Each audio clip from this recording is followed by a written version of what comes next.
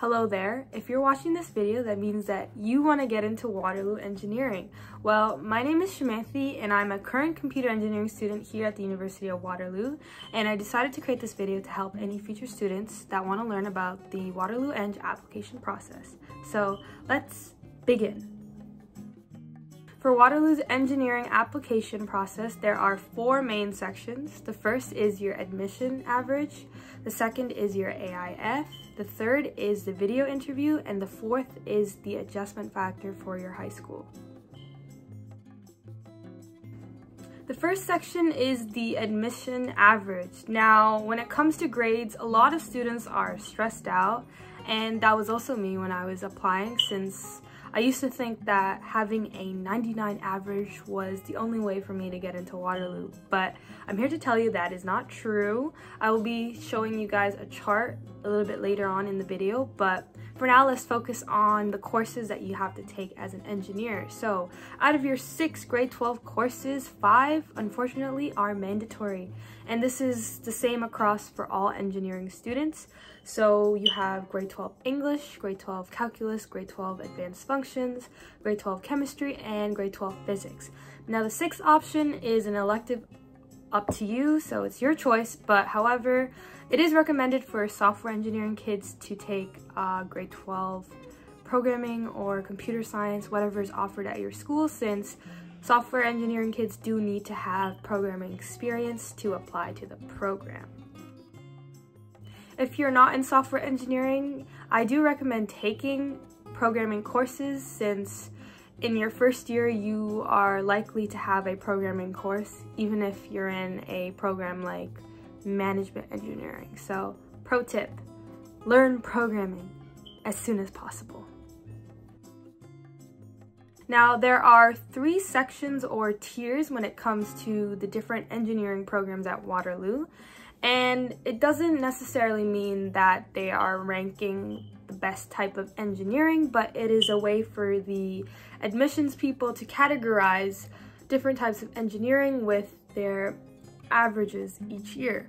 Tier 1 consists of software eng and biomedical eng. Tier 2 is electrical, computer, mechatronics, mechanical, systems, I believe.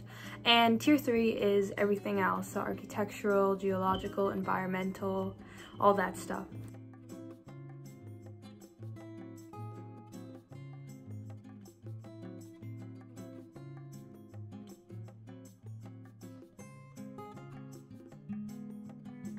The AIF.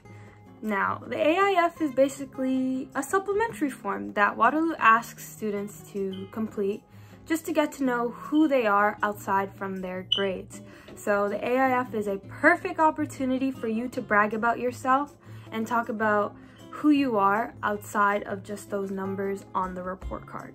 So for me personally, I was a very sporty person outside of school and my academics, and I talked about that a lot in my AIF as a high school athlete and playing basketball outside of school on a rep team, as well as being a basketball coach part-time and giving back to my community, and also even volunteering as a camp instructor during my free time. Now, aside from just the sports, I also mentioned my involvements as a robotics um, club member. So for the first robotics competition that some, some of you might know, I was a programming team lead. I was also a part of um, math club and comp sci club. And I just was just very outgoing and just well-rounded with my extracurriculars and I showcased that in my AIF. Now, if you're an engineering student, which is probably true, you'll have a engineering section in your AIF, and basically it talks about why do you want to be an engineer? Why do you want to go to Waterloo for engineering? So just talking about your goals and your motives on being in engineering, obviously just keeping it honest but reasonable, as well as talking about what Waterloo offers to you and how you would benefit from that is very important to talk about. And I did quite a lot of research online, so if you were to just search up the prompts, you'll be able to find some good examples. And I did use those and I got in, so hopefully that'll work for you as well. But basically, AIF is just a form to talk about yourself, nothing stressful, and you have a lot of time to finish it, so I really suggest putting in the effort since it could really help you out, especially if you are not as high with your grades or in any other part of your application. The video interview. Now, everyone thinks that the video interview is some scary in-person interview with some admission officer. No, that's not true. The video interview is just a recorded uh, video that you need to speak in front of for just a couple of questions for a couple of minutes. So it's just some kind of software that they send to you. You get a minute to prepare an answer for a prompt that they give you and you only have one take to record the answer and then submit it off. Now, a lot of other schools do this as well, but Waterloo's, when I did it, only had like two questions, so it wasn't that heavy. And I believe that's because the AIF is actually quite heavier, so just practicing your speaking skills and just practicing online prompts will prepare you for that. Plus the video interview isn't that many points, but it is better to do since it will always help your application. The adjustment factor. Now this part of the application is something that's a little bit different since you can't actually control it. So in my opinion, it's best not to focus about it. But I know it can be challenging since different schools have different adjustment factors, meaning different students will get, I guess, an advantage. Now, an adjustment factor basically looks at the previous students at your high school who went to Waterloo for your program or your department, and they calculate their high school average and they see the drop in their first year and they use that number to calculate the adjustment factor. So it's kind of like an average of how much they expect your current grade 12 average to drop. So schools with higher averages or adjustment factors, sorry, are, I guess, don't do as well in Waterloo. So if you have an adjustment factor which is smaller, it is better. Now, like I said, you can't really control this, so just Hope for the best and focus on the other three things that I mentioned in this video. One important thing that you should always talk about with, I guess, yourself or your family is why you really want to go to engineering at Waterloo. Um, Waterloo Engineering, to be honest, is a rigorous program. It is quite very academically demanding. And as many of you know, you might have heard that Waterloo Engineering kids don't have a life. Uh, that may or may not be true, depends on who you ask, but it is true that you need to work really, really hard, even harder than you've worked in um, high school. Well, unless if you're like a genius, then that's not true.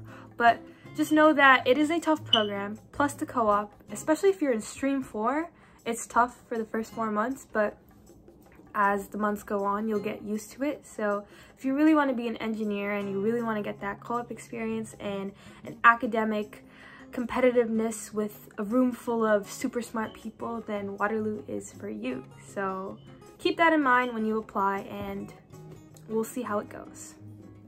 So that's about it, honestly. I know a lot of people are anxious whenever they're applying. I don't think it's right now. Right now is like, I think it's offer season. But anyways, so just focus on what you can control and just do your best. Honestly, if Waterloo is your dream school and if you work hard enough, you will get in, just like me. I really, really wanted to get into Waterloo. It was like my first choice and I worked really hard. I did neglect a lot of my like other responsibilities in the process of this, but we're all learning. So if you really want to get into Waterloo, if you really want to become a really cool engineering student, an engineer who wants to like, I don't know, save the world one day or just help people out, then yeah, maybe Waterloo's for you. But if you also want to get that co-op experience early on and get pushed into the horrible job market right now, then also apply to Waterloo and hopefully you get it.